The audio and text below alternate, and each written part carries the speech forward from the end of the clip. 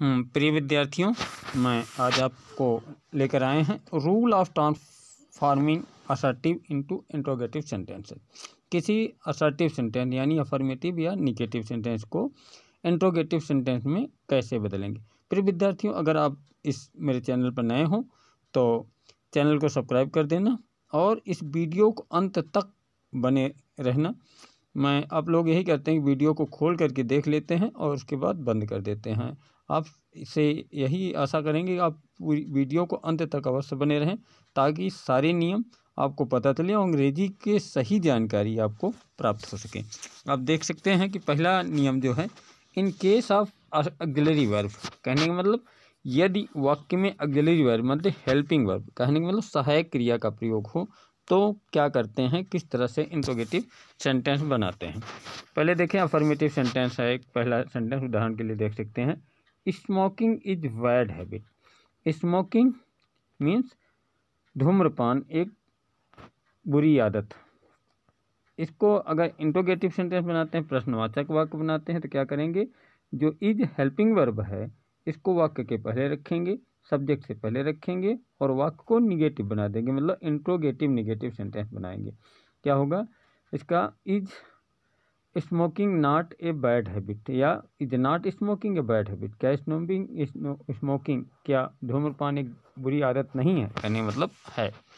इसी तरह आप देख सकते हैं, नियम नंबर टू, यदि अग्जलरी वर्ब का प्रयोग नहीं है तो उससे पहले डब्ल्यू एच वर्ड वर्ड का डब्ल्यू एच वर्ड जो कि आप जानते हैं, नौ प्रकार के होते हैं what which when where why how W H word कहे जाते हैं। ये इनके बाद फिर डेट का प्रयोग किया जाता है फिर सब्जेक्ट का प्रयोग किया जाता। ऑल हेयर्स लायर क्या हो जाएगा? निगेटिव सेंटेंस बनाएँगे इसको भी। Who does not hate liar all hates liar all hates liar means क्या होगा? सभी झूठों से घृणा करते हैं। तो इसका जो इंट्रोगेटिव सेंटेंस बनाएँगे, क्या होगा? Who does not hate liar कि लायर से, किसी झूठों से घृणा कौन नहीं करता? इट मीन्स सभी करते हैं।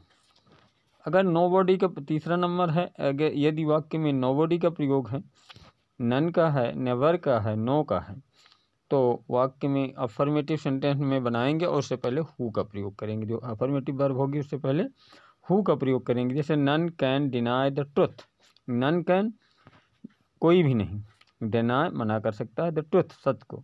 सत्य को नकार कोई नहीं सकता। क्या करेंगे? Who can deny the truth सत्य को कौन नकार सकता है? मतलब कोई नहीं।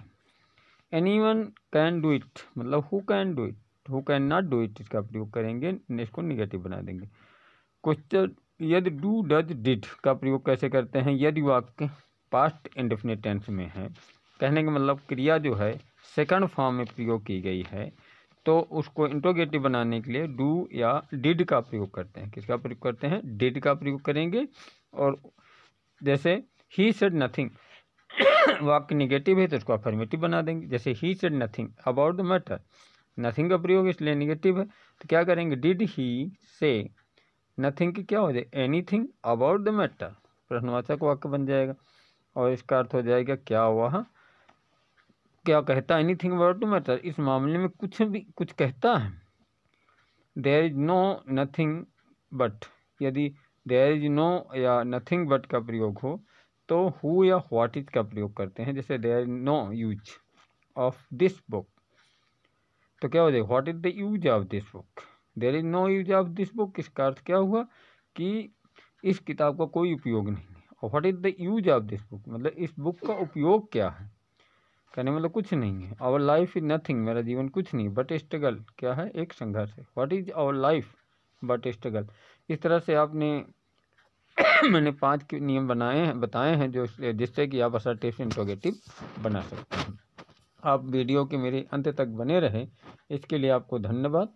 आप आशा करते हैं कि आपको वीडियो अच्छी लगी होगी। अगर वीडियो अच्छी लगी हो तो लाइक, एक लाइक अवश्य कर देना या चैनल को सब्सक्राइब कर दें। अगर आप चैनल पर नए हों तो थैंक यू, धन्यवाद।